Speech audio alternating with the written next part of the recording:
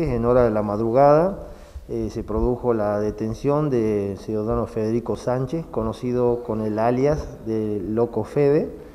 Eh, por el momento, bueno, él fue puesto a disposición de la Unidad Fiscal de Homicidios 2 a cargo del doctor Carlos Sale y bueno, se está investigando qué participación tuvo él, si él fue el autor del disparo o no, eso es materia de investigación.